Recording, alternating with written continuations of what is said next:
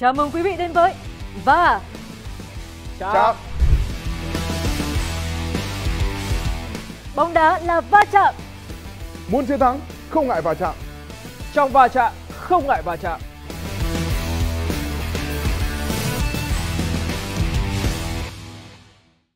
Chào mừng quý vị trở lại với va chạm trên FPT Play. Anh Béo, hôm vừa rồi uh, trận chung kết lượt đi anh em mình không bị xếp pressing ở trong uh, cabin bình luận. À, không biết là anh cảm thấy thế nào? Rõ ràng là sướng. Đầu tiên ít nhất À, đúng là rồi. về mặt chỗ ngồi. Đỡ vướng víu. Vâng, đỡ vâng víu tự dưng bây giờ làm bình luận trận bóng đá bình thường là tôi không quen lắm cảm giác. Ngồi Có sếp ngồi cạnh Ờ, vâng. đúng. Xong thi thoảng lại cứ nói chuyện là điều chuyển công tác. Nào thì tôi nhớ là hôm một định chuyển anh sang phòng kế toán. Tôi chỉ đọc tiền donate thôi mà Vâng. tình cảm anh em đông đầy, tình cảm các khán giả đông đầy dành cho anh em chúng ta. sếp thì gây áp lực Ờ. xong ngồi lại còn chật trội kỹ thuật viên người ta tính cả rồi một cái cabin bình luận là để mà âm thanh có thể gửi tới chân thực nhất dành cho các khán giả là chỉ có hai người ngồi trong đấy thôi sếp cũng đỡ đá vào một mình mà mình thì cũng nói làm sao để cho nó thoải mái nhất đúng không Đúng rồi, ít ra anh em mình ờ, có hot thì cũng hot thoải mái hơn. vâng đấy anh kinh tế dũng anh làm phá vỡ mất phong thủy Đúng rồi. chúng ta nhớ mãi cái trận indonesia ngồi ba người câu chuyện về phong thủy đang rất ổn Chính xác. vâng sếp tự dưng đấy sếp đi một cái phá phong thủy bây giờ là việt nam may còn hòa Mà dù sếp cũng đã nói là anh ngồi đúng cái số ghế, đúng hàng ghế, đúng cái ghế mà anh đã ngồi trong trận thắng trước Malaysia. Không, À, tôi nghĩ là tin này. không chuẩn đâu. Rồi, Nói thế không thôi, tin không chuẩn. Thôi, ít ra là trận lượt về là sếp chúng ta trở lại rồi. Vâng. Vâng, chúng ta không phải lo lắng về điều đó nữa. Và anh em chúng ta sẽ đến với quan điểm đầu tiên của chương trình ngày hôm Vâng. nay.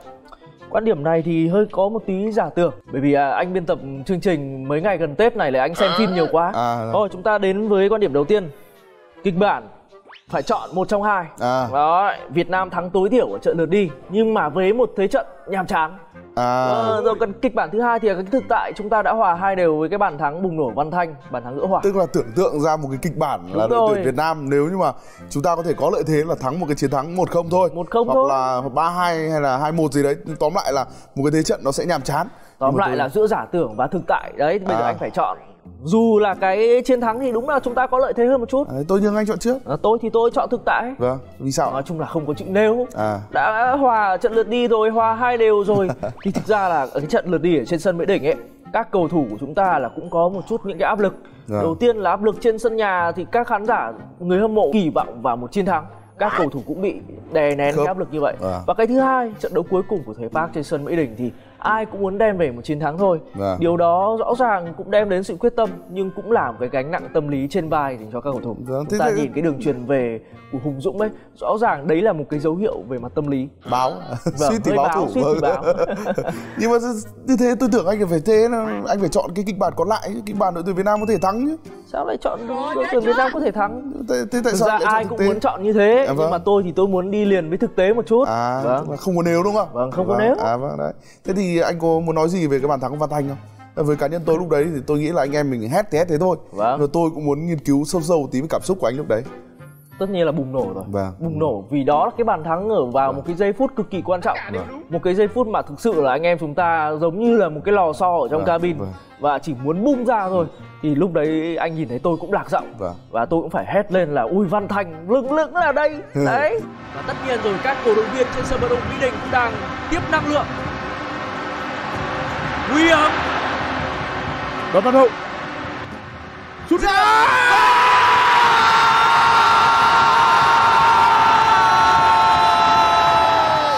Văn Thành lưng lưng là đây Đó là điều mà tất cả chúng ta đều đang mong muốn được chứng kiến.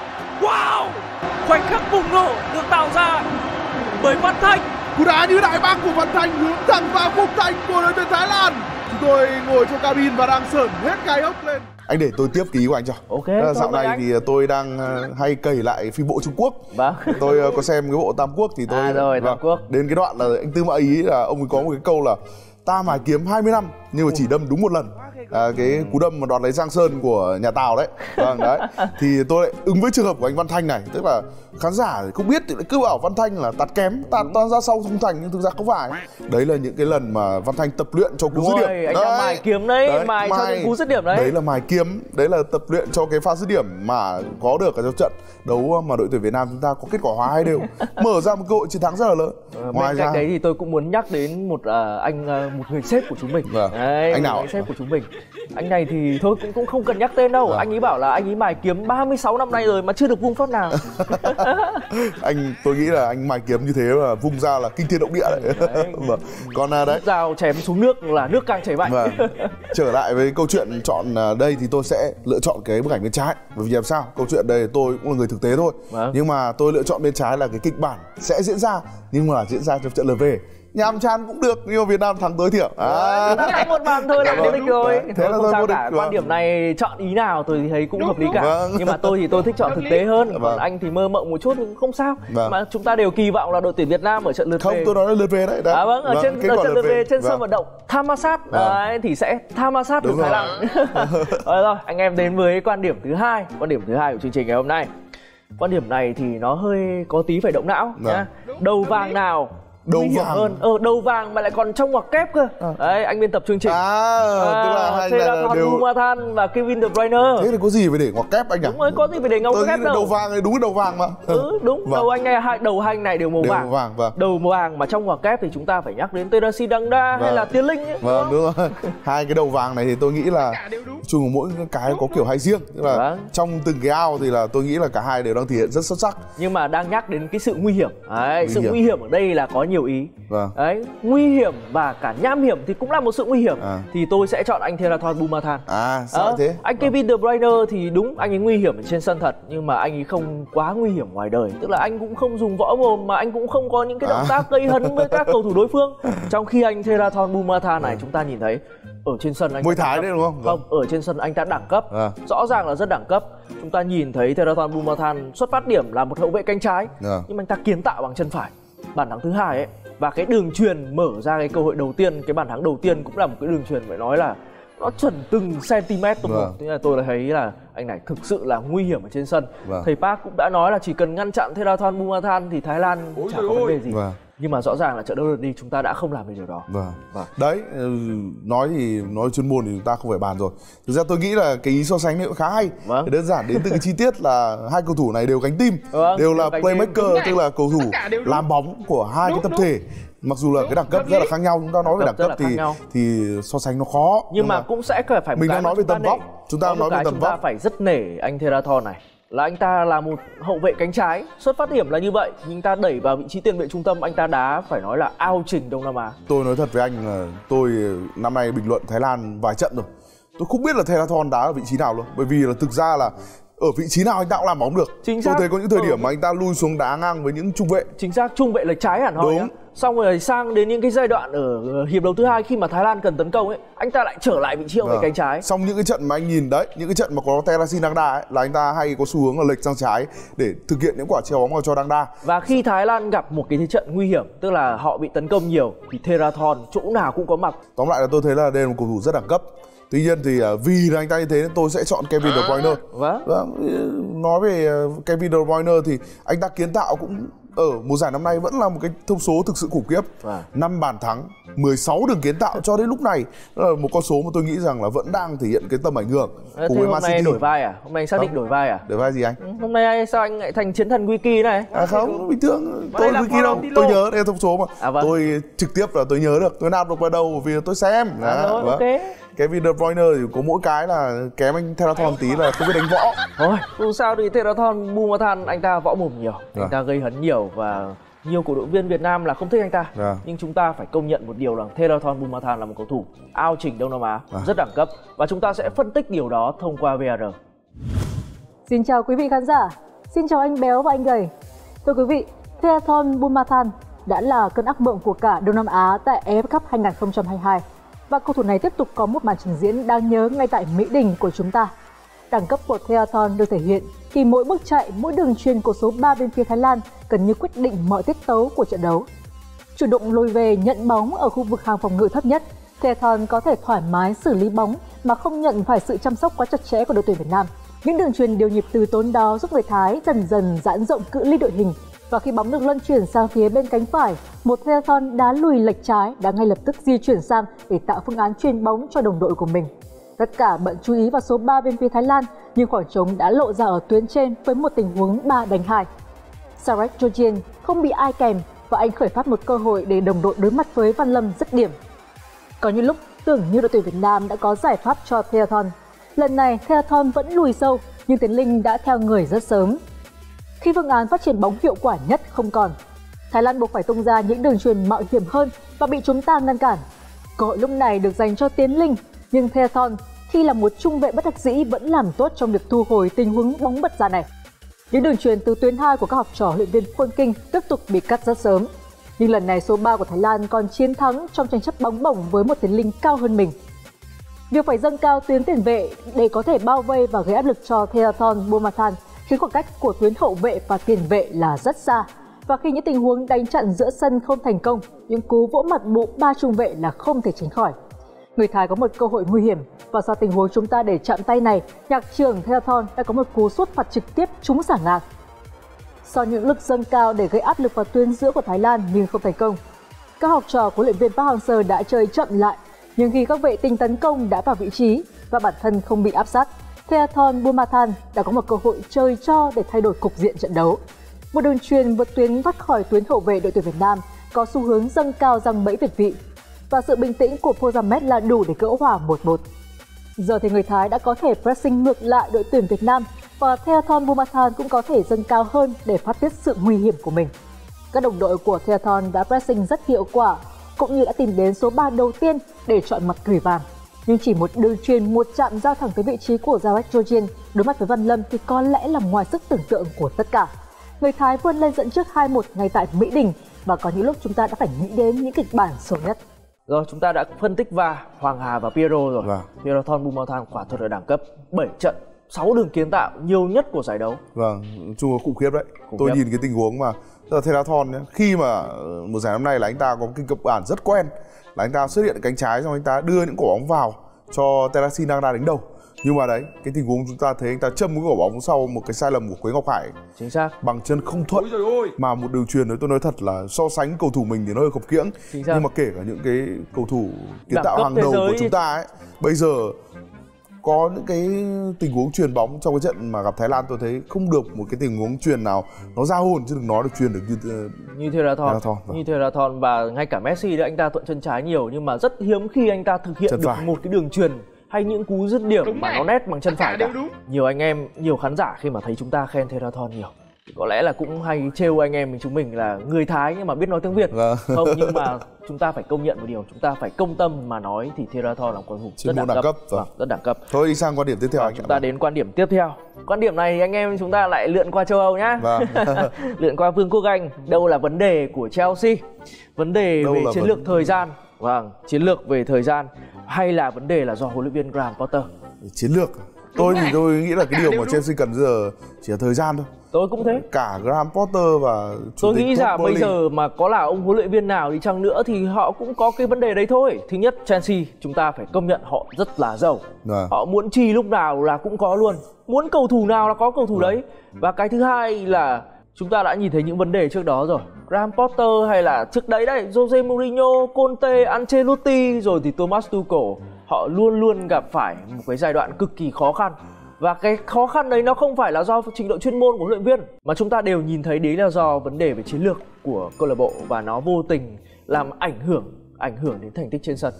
Tôi tôi nghĩ khác. Ra thì ông Todd Bowley ông mới đến thôi. Đúng thì Bây giờ đấy. một vài tháng thì tôi nghĩ rằng là ông ta vẫn đang cố gắng và nỗ lực để cải thiện chất để lượng cải đội bóng. điều đó. Đấy. và chúng ta nhìn thấy rằng là trước đó là Chelsea có những cái phát triển nhưng mà phát triển nó chưa đồng đều tức là phát triển cả về cái cái vấn đề về mặt y tế đó vấn đề về mặt những cái nội tại cơ sở vật chất huấn tập luyện thể lực các thứ và có một điều tôi rất thích về ông Todd Bowley nhá. Ông ta làm được một điều mà khiến cho các cổ động viên của Chelsea thích. Trong À. khi đó thì có một vài cơ sở đội bóng khác ở cùng thành London thì lại cay. Đó. ông ta rất thích trêu cơ từ Arsenal. xì cao anh nào là mua luôn anh đấy. Tức là Arsenal dành thời gian để quan tâm rồi thì đặt giá đặt giết anh nào Dạ là Felix à, Đó. thôi tôi xin.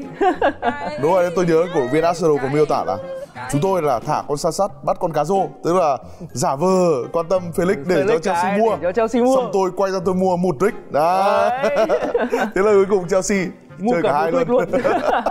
Nhưng mà cái trận đấu đầu tiên của Joao Felix thì thực sự nó là thảm họa. Vâng đấy thì đấy bức ảnh đấy anh nhìn bức ảnh là chế là anh biên tập anh cũng có ý đồ cả. Nhưng mà chúng ta phải công nhận một điều rằng là Chelsea cần thời gian. Đấy, cần thời gian tôi đồng ý chuyện đấy. cái chiến lược và và chúng ta đều nhìn thấy cái đội hình của họ đang chấn thương nhiều quá và họ cũng đang nỗ lực để cải thiện điều đó rồi. Tôi sẽ chọn cái bên trái. Vâng, Ờ, tôi cũng chọn cái bên trái. nó không phải là vấn đề về chiến lược đâu mà tôi chỉ nghĩ là nó là câu chuyện về thời gian thôi hoặc là tôi sẽ không chọn cái gì cả bởi vì ờ, chiến lược thì cũng không có vấn đề lắm ông Todd Boehly anh nhìn ông ta chi tiền nhiều thế thực ra là cũng gây ra một cái vấn đề không với nhưng tập mà thể ấy. cái chi- ở thời điểm hiện tại chúng Vâng. ta công nhận là ông Topoli đang có cái chiến lược đúng đắn Vâng. nhưng mà ở thời ông điểm chi trước vẫn đó tôi thấy là vẫn hơi quá tay Vâng. chung là chi để mỗi trêu trêu đối phương mà bỏ ra mấy trăm triệu thế thì nó hơi phí họ giàu họ có quyền À, vâng nhưng mà nhưng mà tôi tôi không dạy người xấu tiêu tiền đâu tôi phải nói trước thế À, vâng. nhưng có điều là ở đây là chúng ta phải nhìn hai mặt nhiều quá thì số trước tôi đã nói rồi cũng khiến cho nhiều cầu thủ phải ra đường bởi vì bây giờ đội bóng ở ngoại hạng Anh cũng chỉ được đăng ký số lượng cầu thủ nhất định thôi. Tôi nhớ không nhầm là ba hai cầu thủ bao gồm ở những cầu thủ uh, cây là nhá vườn nữa. Nên nên là bây giờ là tôi nghe nói là Kai Havertz rồi thì uh, Koulibaly là cũng đã phần nào đó được ông Todd Boehly là ông đưa lên danh sách chuyển nhượng rồi.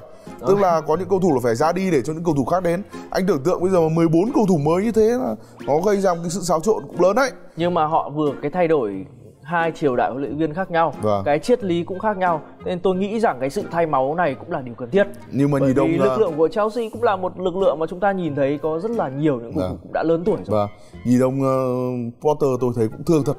Là trông có mấy tháng ông ta dẫn dắt câu lạc bộ Chelsea thôi mà bạc cả tóc mà mặt ông cảm Ra giác nếp nhăn ông ta cũng bạc từ trước rồi Không, nhưng nhưng mà, mà nếp chúng ta nhăn phải công nhận rằng là nếp nhăn thì nhiều, nhiều hơn. nhiều hơn nếp nhăn. Sau đó thì ông ta cũng cay đắng mà ông ta phát biểu rằng chỉ mới hai tháng trước thôi người ta còn gọi tôi là huấn luyện viên ở đẳng cấp hàng đầu. Đấy.